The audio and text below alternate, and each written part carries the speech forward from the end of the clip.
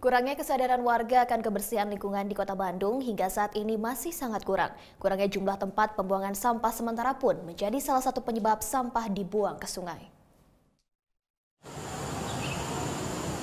Polemik sampah kiriman dari kota Bandung yang terbawa arus sungai Cikapundung, Kecamatan Bojong Soang, Kabupaten Bandung belum terselesaikan.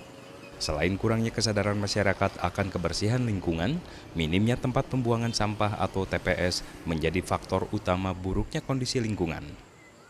Aktivis lingkungan hidup Wahli Jawa Barat mencatat saat ini jumlah TPS di kota Bandung mencapai 164 titik. Jumlah tersebut sangat kurang dibandingkan dengan jumlah penduduk kota Bandung yang mencapai 2,9 juta jiwa. Harusnya ada uh, perubahan terhadap pola pengangkutan dan pola uh, pengumpulan sampah. Kalau tidak ada, akhirnya ya gitu masyarakat uh, tidak bisa disalahkan juga ya kalau misalnya dia tidak punya alternatif uh, tempat buang sampah gitu ya, nggak nggak punya tempat ke mana pun buang sampah gitu ya, tidak ada TPS-nya, ya akhirnya ya buangnya ke sungai juga gitu.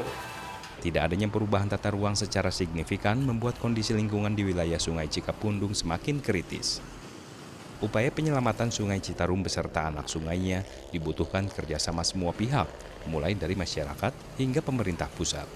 Adirianto melaporkan untuk NET.